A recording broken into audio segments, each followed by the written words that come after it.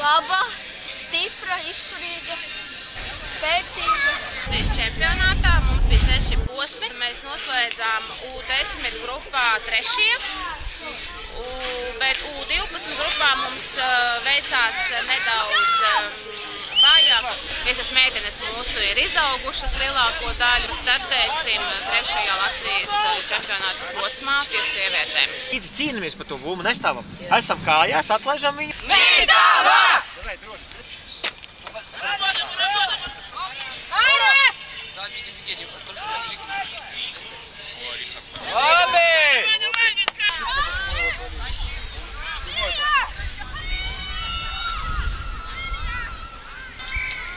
U16 esam izcīnījuši zelta medaļas Latvijas čempionātā, uzvarot visas trīs posmas un eh, nezaudējot nevienu spēli.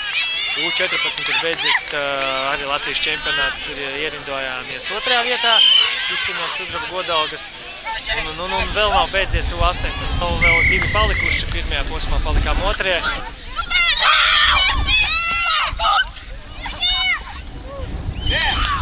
Ты реально ты уже четвертый. Вопрос,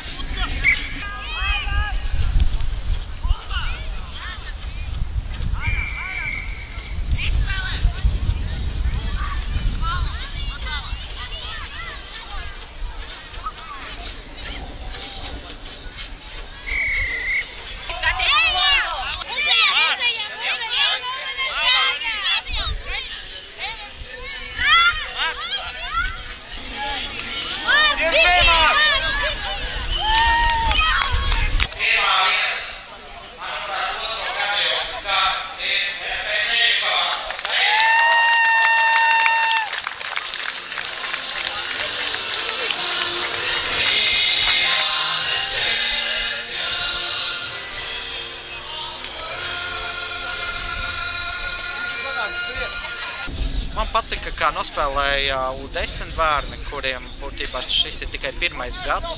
Viņi arī veiksmīgi aizvadīja Latvijas čempionātu, palika trīniekā.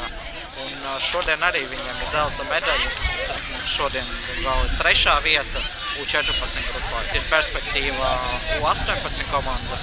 Es ceru, ka pēc diviem gadiem viņi jau būs tie, kas varēs arī spēlēt pie pieaugušajiem.